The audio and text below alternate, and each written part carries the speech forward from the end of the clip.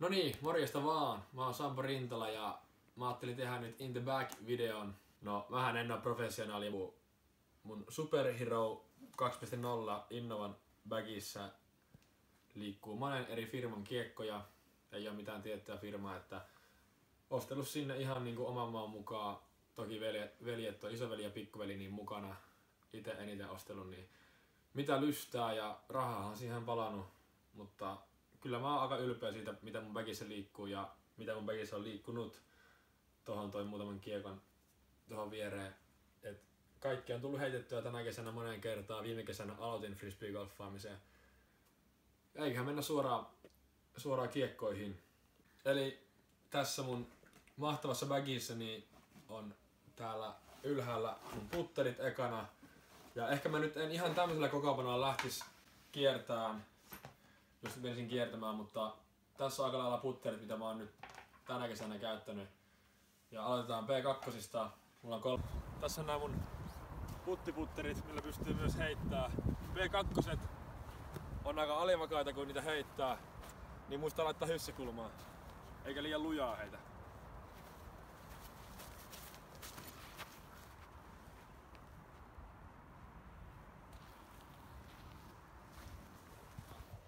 Kolme V2 oli koko tämän vuoden käytännössä puttereina ja ne toimi hyvin.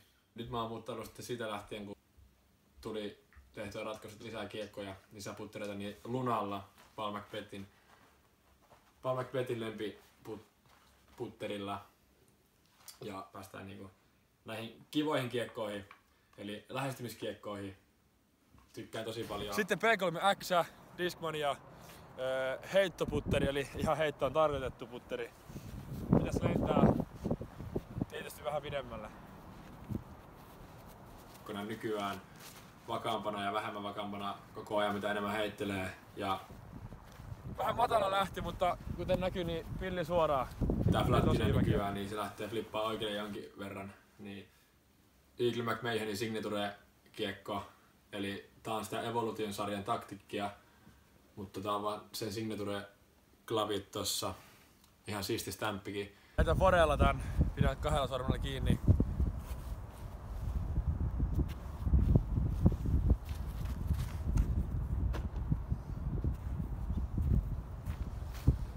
Ihan vakaa, luotettava.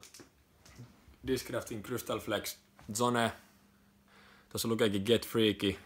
Niin tää on nyt ollut semmonen kiekko, millä mä oon hakenut semmosia tosi vaikeita linjoja välillä tietenkään ne ei onnistu yleensä, mutta, mutta on ollut kiva kiekko tämän temppuilla. Ja mennään seuraavaksi, seuraavaksi mennään näihin midareihin. Viisi eri midari yleensä liikkunut bagissa ja aloitetaan nyt vaikka butseista. Eli näähän on Discraftin tunnettuja kiekkoja. Sanotaan, että lentää suoraan siinä linjassa, mihin sä sen laitat. Discraftin butsi Lentää aina suoraan.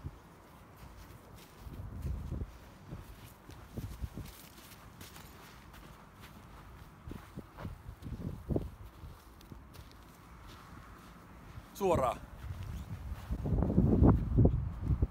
Vähän fore.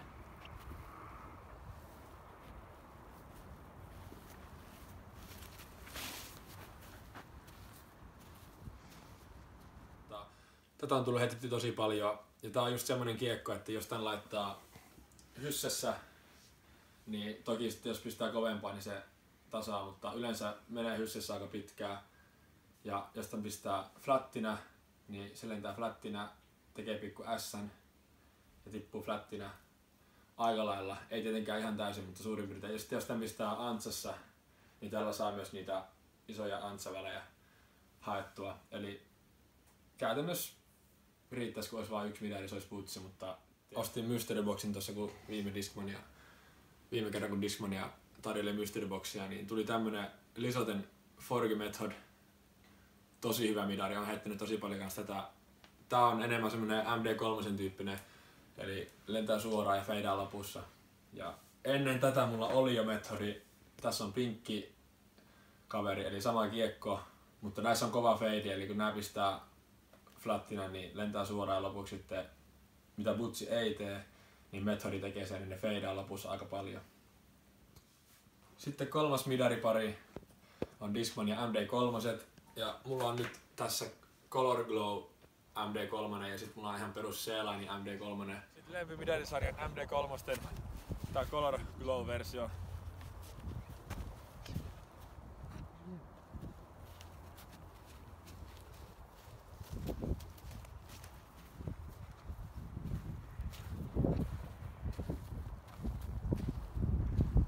Aivan loistava kiekko. Aika kallis kiekko itse asiassa. Nämä on myös keräilyharvinaisuuksia, nämä Ground Eaglet. Tiger Eagle McMahonin signature kiekko siis. Ja. Sitten on mun ykkösmidari tänä vuonna. Jo nyt aika pahasti kulunut, mut ylivakaa malta.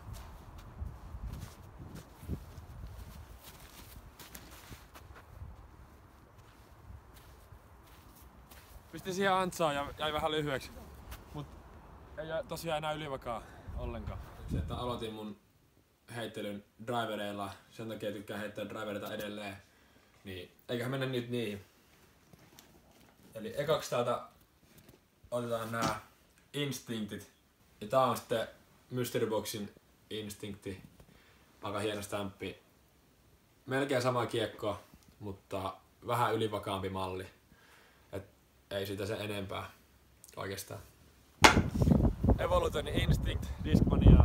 Lentää tosi suoraan ja myös Forella tykkään käyttää yhden sormen Fore drivereissa, niin just vaikka esimerkiksi tänään kävi heitteleen, niin tuli semmoinen fiilis, että niin tää lentää pilli suoraan Forella tää instinkti. Ja rystyheitoissa myös toimii. Käytännössä niinku butsi, mutta he lentää vähän pidemmälle. Sitten nämä alivakaammat fairway driverit. Mulla on Essenseekin pyörinyt aika brännikkä tämmönen sininen. Lentää ehkä niinku lempparilinjoilla, mitä näistä kaikista keikoista voi valita. Tosi hienoja linjoja saa Antsa linja ja sitten feidaan lopussa yllättävän vahvasti siihen nähden, että on vain ykkösen feidi. Mutta hyvin samanlainen kiekko, Westside Diskin Hatchet, 100 kirves, on toiminut backissa vähän alivakaampi mitä tuo Discmanian versio. Nyt mennään PD-kiekkoihin. Discraftin Force, tai ei mitään pahaa sanottavaa, lentää just niin kuin pitääkin. Eli aika ylivakaa kiekko, ei mahdottoman ylivakaa itse asiassa, tällä pystyy heittämään myös pituusheittoja.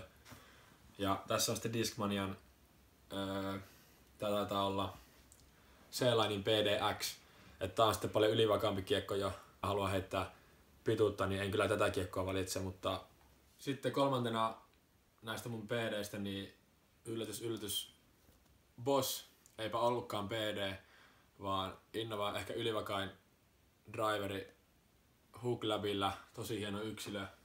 Mut lentää niinku ylivakaa PD, eli tulee käytettyä vaan niinku isoissa hysseheitoissa. En saa tätä mitenkään, ainakaan mun kädellä toimii. Tuntuu, että tää on niinku yli, ylivakaampi bossi, mitä mikä muu bossi, mitä on heittänyt, vaikka se on muutenkin ylivakaa kiekko. Hooklabin merkeissä mennään, niin näitä lisää mulla. Tää vihreä ja läpinäkyvä on C-Line Firebird 9403 on statsit. Eli ylivakaa kiekko käytännössä menee myös PDstä ja käytän Fore kiekkona tosi paljon. Eli ei saa niin paljon pituutta, mutta tiukkoihin väleihin ja sitten hysseheittoihin, niin tosi hyvä kiekko. On tullut heitetty tänä kesänä ehkä melkein eniten Fore. Kuklavin DDX, just niinku Dessu, mutta täyspainoinen DDX S-line. Aika lailla samanlainen kiekko, mitä sitten tää vaaleansininen huklavi, tää on ihan perus Dessu. Ja lentää aika lailla samalla tavalla, ei tule heitettyä näitä niin paljon, mutta ehkä nämä myös väkissä vähän sen takia, että näyttää siisteiltä ja tykkään flexaa näillä. Perus Dessu, Paul McBettin 4X World Champion, eli aika vanha. Kulunut Dessu lentää kuitenkin tosi vakaana vielä, eli ei ole haitannut heitossa ollenkaan. Tykkään käyttää paljon ja sitten samalla Selain DDX, niin kuin tuossa oli tuo valkoinen huklapi DDX, niin sama kombo lentää about samalla tavalla, niin näitä tulee heitettyä enemmän kuin näitä huklabeja. Siitä on väkissä liikkunut kaksi muutakin Dessua. Öö, UMP Dessu Sokibot Destroyer tänä vuonna ostettu vähän ylivakaampi versio. ja sitten taas tämmönen Power Gripin nimikkaris alivakaampi dessu, eli tällä pystyy heittää hyssessä about ja rallaa tässä kulmassa ja sitten se flippaa yli ja kääntyy takas. Eli mulla on neljä dessua ja kaikki toimii eri tavalla, niin Star Destroyer se kiekko, mikä sanotaan, että ei väliä vaikka olisi kuinka samannäköinen kiekko, niin kaksi eri dessua niin toimii ihan eri tavalla. Flow. Ensimmäinen latituden kiekko väkissä. Hyvä liito, kuuden liito, nopeus on vain 11. Ja tällä mä oon heittänyt pitkälle, yksi, pisimpi, yksi pisimmälle lentäviä kiekkoja mun väkissä. Eli hyvin samanlaisia kiekkoja niin kuin Innova Star Corvette. Ja tässä oli, se haippi oli joskus silloin toukokuussa, kesäkuussa mulla ja nyt tää on ylikulunut tosi alivakaa. Vaikka onkin nopeus 14 ja liito 6, niin nykyään tää flippaa helposti yli, on hakattu niin paljon puihin. Ja viimeisenä näistä mun ei alivakaista drivereista, niin uusi hankinta Titanium Undertakeri. Ei ole tullut heitettyä paljon yhtään, mutta ostin sen takia, koska mulla oli alkukesästä semmonen ESP-muovin Undertakeri mun mielestä.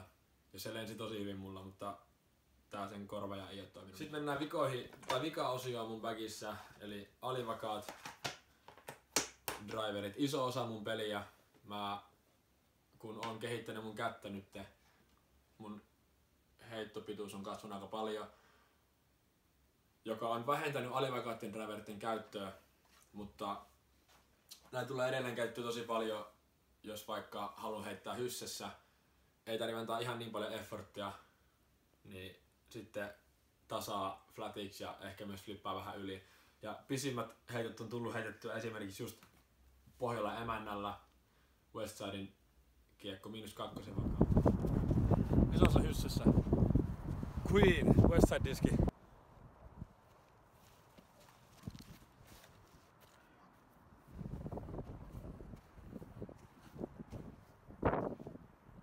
Sen lisäksi täällä on Shryke. Tässäkin on miinus kakkosen. Stars Ryke, alivakaa, pitkälle lentävä kiekko. Vähän kulunut, pitää pistää aika paljon hyssiä.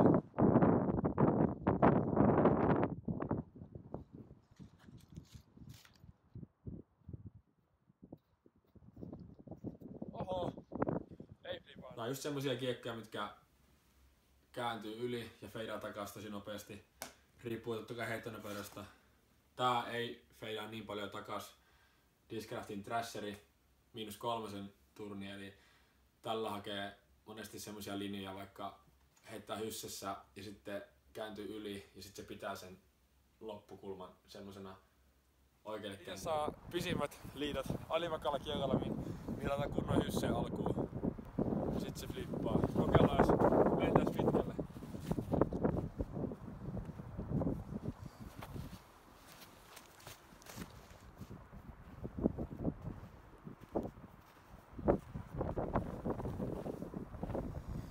Vähän painaa alas. Joskus on tullut heitettyä tosi hyvin tällä Z-Linein Thrasherilla, mutta sitten näissä on monesti se, että kun nämä kuluu, niin sitten nämä muuttuu liian alivakaaksi ja näitä ei pysty käyttämään. Niin kuin mullakin on ollut, tää taitaa olla neljäs Thrasheri, mikä mulla on tänä kesänä pelkästään. Ne alivakaa driveri, Discman ihan perus sellainen TD, turning driveri.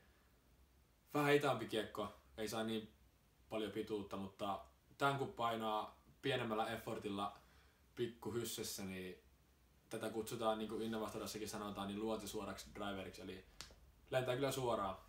Eli siinä tilanteessa, niin jos on pieni väli, ei tarvi niin lujaa heittää, niin tää on hyvä ratkaisu niihin. Sitten viimeisimpänä ja löytyy sivutaskusta, koska bagi ei muuten mahu, niin Discmanian tämmösiä signature drivereita, eli Cloudbreaker 1 ja Cloudbreaker 2. Okei, nämä on aika kalliita kiekkoja, nämä on hyviä kiekkoja. Näistä sen verran, että nämä on DD3. Ylivakaita drivereita mun mielestä. Eagle McMahonin mielestä, kenen kiekkoja nämä on, liian alivakaita. Se sanoi, että se ei pysty heittämään näitä täysiä, kun nämä flippaa niin pahasti yli. Cloudbreaker, ihan ykköskiekkoja. Pikku Antsassa, katsotaan mihin asti lentää.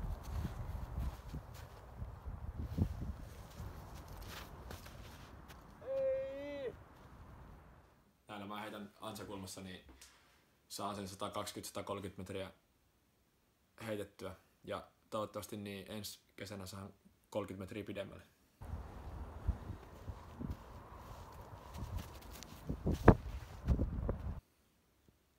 Sitten tässä näitä kiekkoja, mitä on kulkenut mun bagissä.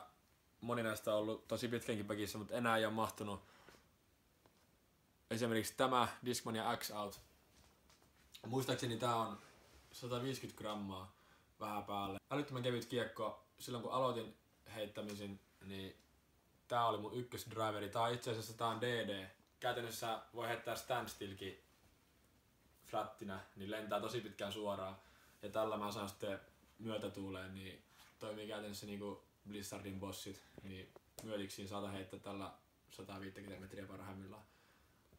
Aika tämmönen lelu, jos on tosi vaikea paikka metässä, niin tällä pystyy yrittää päästä pois sieltä jollakin kikalla. Sitten Prodigin A2 taitaa olla ensimmäinen Prodigi, mitä tässä mulla on, eikä mä bagiin.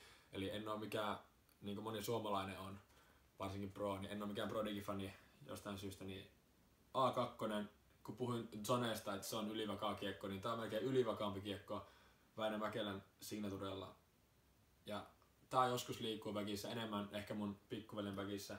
Sitten tässä on esimerkiksi, jos tulee ensi kesänä tehtyä In the Back video, niin tämmönen kiekko saattaa esiintyä siellä. Eli ostin viikko sitten Brodin Roachin. Brody Smith puttaa tällä. En ole vielä ehtinyt oikeastaan edes testaa, mutta tää voi esimerkiksi olla semmonen kiekko, mikä kun puhui, että P2 ei toimi enää, Luna toimii välillä, niin tää saattaa olla se kiekko, mikä toimii ensi kesänä. Ei tiedä. Vaikka niin nämä, tässä on esimerkiksi Star Rock 3, hyvin samankaltainen midari, mitä vaikka Methodit. Ei mahu sen takia bagia, ei tarvitse samoja kiekkoja olla liikaa.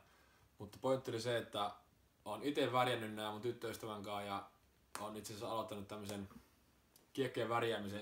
Itse värit laitettu tähän S-Line MD2. Tää oli vähän niinku tämmönen epäonnistunut versio, mutta ei tääkään hirveä oo. Mutta tää on taas semmonen, että omasta mielestä aika hieno. Tuli Aida ja Polja on käyttänyt. Ja tää kiekko on MD2, Discmania ja DD2. Ja tämän tyyppisesti tulee keräytyä paljon tämmösiä Siitä alivakaampaa öö, pituuskiekkoa DD2. Taisi olla miinus kakkosen turni. Meitsi oli tosiaan Sampo Rintala ja tässä on aika lailla mun bagi. Muuttuu joka päivä. Hirveä kiekko hamsteraja on ja ostelen kiekkoja päivittäin Facebookista ja kaupasta ja mistä nyt ikinä liikunkaan. Ja se on ehkä jopa, jos analysoi mun peliä, niin iso ongelma, että ostan niin paljon kiekkoja ja bagissa liikkuu niin paljon, niin kuin tästäkin huomaa, niin eri kiekkoja liikkunut tänäkin vuonna. Plus kaikki hukatut kiekot, niitäkin on varmaan 20 kiekkoa. Niin. niin liikkuu niin paljon eri kiekkoja, niin en opi heittää millään tietyllä kiekolla ja sen takia heitto ei normalisoidu tiettyyn kiekkoon ja sitten tulee heitettyä sillä aina hyvin, vaan haluan jostain syystä testata samalle väylälle eri päivänä eri kiekkoa. Kesä odotellessa tänään kävin tosiaan kiesillä ja tuli päätettyä kaverin kanssa, että saattaa olla vuoden viimeinen kierros. Sitten saattaa tulla vaikka jotain pientä päivitystä kanavallekin, minkälainen mun bagi tulee olemaan kesällä, kun aloitan uuden frisbee golf kauden. Toivottavasti heitto paranee, bagi kasvaa, rahaa menee ja näillä mennään. Pitää kuvata. Voin näyttää yhden heiton. Tämmönen lämmittelyheitto. Ei liian lujaa, mutta semmonen